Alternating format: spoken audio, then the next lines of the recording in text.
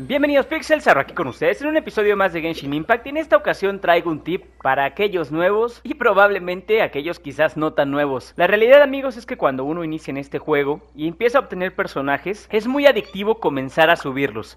Y esto es algo no tan recomendado cuando vas iniciando y mucho menos si eres un jugador free to play. Mi recomendación si tú vas avanzando es que te enfoques únicamente en cuatro personajes y de hecho si quieren después podemos hacer un video de recomendaciones para equipos iniciales. Pero regresando al tema que sean estos personajes a los que metes toda tu energía para subirlos de nivel y equiparlos bien.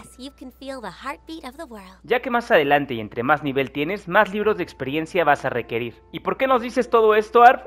Pues por lo siguiente, si eres una persona que como yo al inicio empezó a subir personajes, en realidad sí tenemos una recompensa que yo no me había percatado de ella. El día de ayer que navegaba en el menú de personajes me di cuenta que si ponía la vista previa de materiales de ascensión, evidentemente aquí podemos verificar qué necesitamos por cada rango. Lo que yo no sabía es que entre algunos rangos de ascensión podemos recibir recompensas, específicamente encuentros del destino. Así que si te has dedicado a subir personajes, aprovecha para reclamar estos encuentros del destino gratuitos para poder así girar la ruleta del gachapon. Quizás eres un jugador que ya tiene algo de tiempo en el juego ya lo sabía, pero incluso yo, a punto de romper el límite del nivel 80 para llevar a mis personajes a nivel 90, desconocía totalmente esta parte. Por ejemplo, aquí en el caso de Bennett, que es el último personaje que subí, si te das cuenta hay unos pequeños signos de admiración entre algunas de las estrellas. Esto quiere decir que tengo recompensas que reclamar.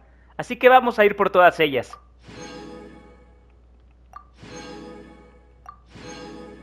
Te digo que al final yo me aloqué y en verdad me dediqué a subir muchos personajes a sus primeros niveles. Y lejos de sentirme arrepentido, creo que ahora lo estoy valorando. Como pueden ver he reclamado 13 más las que había reclamado el día de ayer y de hecho, en una de mis tiradas, ¿a quién creen que me gané? Al juzgando de muchas de ustedes que se llama Diluc. Y por qué no aprovechar y hacer otra tirada de 10 deseos. Venga. En realidad estas tiradas yo las siento como un regalo. Así que, ¿qué creen que acaba de suceder?